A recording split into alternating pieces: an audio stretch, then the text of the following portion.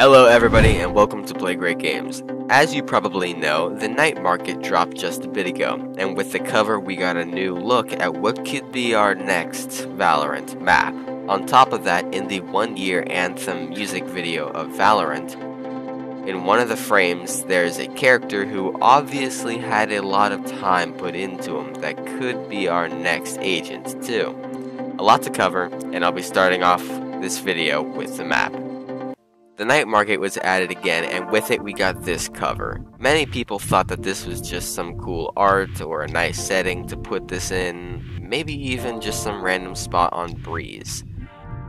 But as Valorant's lore enthusiast Cynprel pointed out, none of these plants match the flora on Breeze, so it's not Breeze, then what is it? It could be just something Riot made up to make it look nice when they put the night market logo kind of thing on it but it also could be a new map. Not enough, there's more.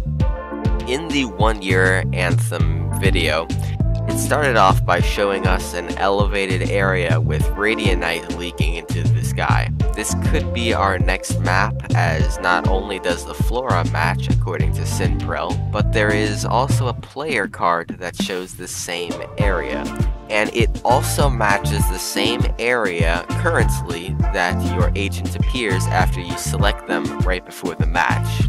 Just saying. As for the new agent, in the Anthem video, we got a frame with a very strange looking character on it. Not only is this character holding what looks to be a long range weapon with a skin, but the character is just too detailed to be a simple visual effect or of no importance. Cynprel also mentioned that this guy looks like the shadowy character in the bottom of the Act 3 cover art, or whatever act it is, I don't know. Here's what I drew to see what they're talking about.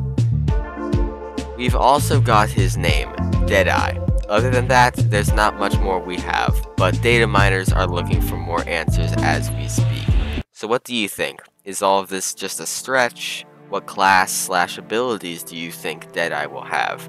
I hope you have an outstanding day, and remember, life is short. Play great games.